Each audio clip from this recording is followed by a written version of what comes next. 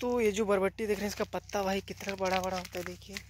एक एक पत्ता मतलब इतना फ़र्स्ट टाइम लगाए हैं हम लोग बरबट्टी। और छत्तीसगढ़ में भाई ये वाला बरबट्टी जो सबसे ज़्यादा लगाया जाता है, क्योंकि भाई इसका प्रोडक्शन बहुत ही ज़्यादा होता है।